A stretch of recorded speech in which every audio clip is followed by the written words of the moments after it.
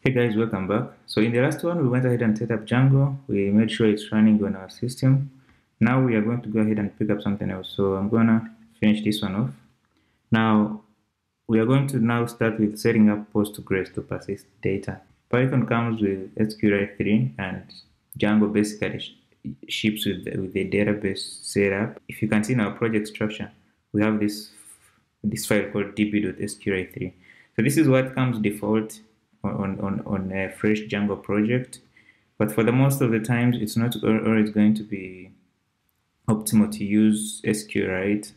So we are going to go ahead and, and install Postgres. I'm going to show you how to install it on a Mac. Let's search for Postgres. And you can click on the, the first result in the search. So just click download and then it should take us to the download page. Once you get here then you're going to have to select like your operating system. So if you're on windows choose windows. If you're on linux choose linux. If you're on mac just click mac. And then we should be able to go to here. So once you're here they're going to suggest different ways to install to install it. One of the ways is to use postgres.app so another way is to use the installer. I'm going to go with the installer way because I know that's going to be common for even people using Windows. So when you come to the the download page now if you you can select your system here. So I'm going to go ahead and select mine. So I'm using macOS and I'll choose the latest one. On Windows you can select that. It's going to go ahead and install it. The download should start. Uh, I want to keep it okay so it's you see it's, gonna download. Now once the download is done you're going to have this installer. Double click on it so it can open.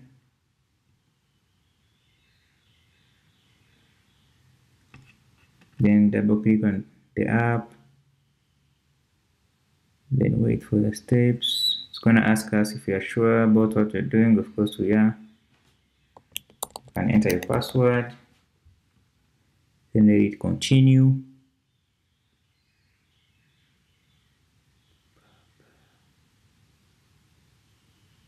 So we get this setup wizard. Now we're going to uh, click next everywhere. So next next. So it's going to tell us that it's going to use uh, the super user database will be postgres the port and this other information. Click next on it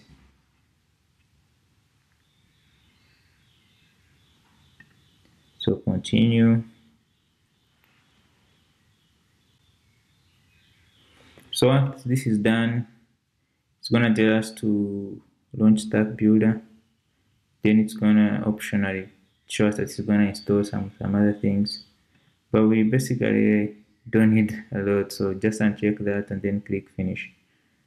So basically this will finish up. And now we can search for pgadmin when you search for it, you're going to find it. When you click on it, it's going to launch. So as it launches, basically, like I mentioned, this is like a graphical way of, of accessing your data. Everything in Postgres gives you an easier way of managing them. So it's going to ask us to enter a master password. So here, just enter, um, you can actually click uh, you can actually click reset password. And then it's going to remove all saved passwords. That's fine. Then you need to set one for pgadmin so i'm going to set one to be password. Then click ok. So once that's done then now you can click on servers. Then we need to enter the password to connect. So remember earlier we were presented with an interface where we saw that the default the default super user super user database would be Postgres and then we previously set a password. So use the password you just set. Now you're going to have like all your all your your your databases here. So it happens that I have some. Mostly for the most part you're going to not be having one. So now that we are here you can actually now click create database. Then you can give it a name. So I'm going to call ours income expenses db DB like that. Income expenses DB. Fine. The owner is Postgres. So then click save. And then the database should be created. See here it is. And then we literally have nothing there. So now we are going to need to connect to it in our application. Let me put up the terminal down. So when you, you open up your project, then you're going to find you have like a manage PY file. Then in the main project folder, there is a settings.py file. So in here, it's where we, we do that, like the database connect connection from. So you can scroll down and then you're going to get somewhere where you have databases. So like this. So now we need to basically change this and then use use the like Postgres itself. We're going to switch, it up for Postgres. Now the engine for Postgres is going to be django.db.backends.postgresql. So we change this to PostgresQL. PostgresQL. Okay, so once that's done, then we need to provide a database name. So remember earlier we created a database and called it income expenses DB. So we're going to switch this to income expenses DB. Then now we need to provide other things like the, the user, then the password and the host. So first to do that, provide another key here, call it user, call it user capital letters. Then remember our default user is called Postgres. So we can connect using that. Our database user is called Postgres. We can connect using that. Then the password. Then to set the password, also need a key called password. Then set the password. So earlier the password that we used was password. Then now about the host, we also need to set it. And then our host, of course, is localhost. So about the the port itself, Postgres is going to to like by default look at port 5432, which is the one that we saw. So if you changed it, you're going to have to specify the port here and do like port, then you add like 5432 like that. But we didn't change it, so I'm just going to ignore it for now.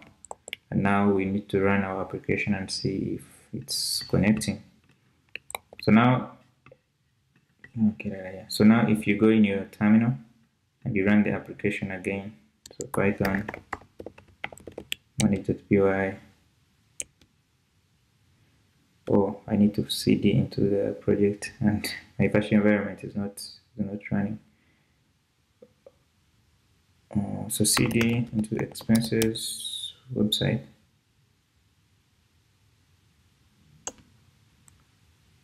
so it is our manage.py is there. Now we can run python manage.py run server.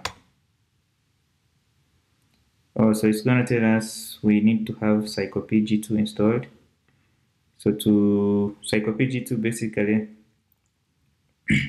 will be so the project is going to need to use it. So to get that module to get the module we can install it using pipenv but I want to first bring it up a bit so I can show you one of the problems you might run into and how you can like get around them. So if you go to psycopg2, so here you can see that the latest version is 2.2.8.5. So I've had like a lot of issues with this version. I'm unable to like compatibly use it in, in, in Django project. So what I usually do is come to release history and then I install 2.7.7 so get this one then we need to install it. So pipenv like we usually do and you can get that. Then we need to press pip here. So install it. It's going to take some time. So once the installation is done now we can run run server again. And you can see we basically connect to our our database and if we check out our application it should run the same which is good.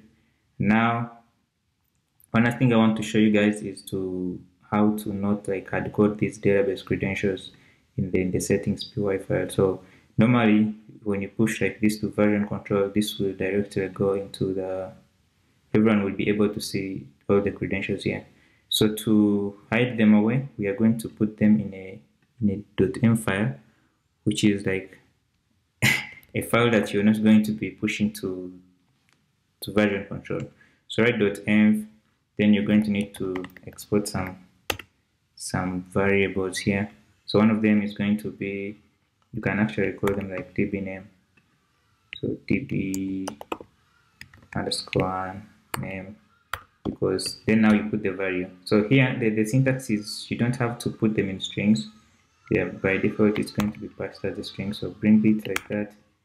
Then the second one will be the db user. So export. Let's export export. Db user. So this one is going to be postgres. Then of course i'll show you how to substitute those values later. So the password same thing. Export db password okay. User db user password okay. See the user. Okay so then the other one will be the host which most of the times will be localhost but we might as well add it in the environment so we can easily switch it if we need to switch the environment. So db host. Of course this is localhost this is password. This is password. Oh no this is localhost. Then now we can come and substitute this. So here we have to use throw them in from the environment. So we're going to use the os module which is already imported here. So now you can do like os oh, sorry now you can come to our database section. Then you replace this with os dot environ dot get then you put the key. So the key here is the db name. So you can come and switch it up. Then the same thing for the user. So copy paste it. And the user of course now will be db user. Replace it like that. The password same thing. Password will be os dot get the password. So put the password there like that then the host of course. Then here there. So this will be os environ dot get. That? So then pass the, pass the db host. Because we missed a comma here we need some spaces here. Basically need to have some linting also. Uh, so once you have that now you can like rerun the, the application again. So python manage.py python manage.py oh interesting. It is well, we need see debug it is here okay so manage.py is here so run python manage.py run. So it, it's not picking the password. And I think that's because it's not seeing that .env. .env it's um, let's try to source it in again. Although uh, so to source it in let me do this .env okay so now it's it's not complaining anymore. So if I run again python run manage.py run server you can see that everything is working again it's connecting and the application is uh, up and running. So with that said if you enjoy the video if you if you're following along i encourage you to subscribe to the channel so you can always be notified when we make a new video. I'll see you guys in the next video. Bye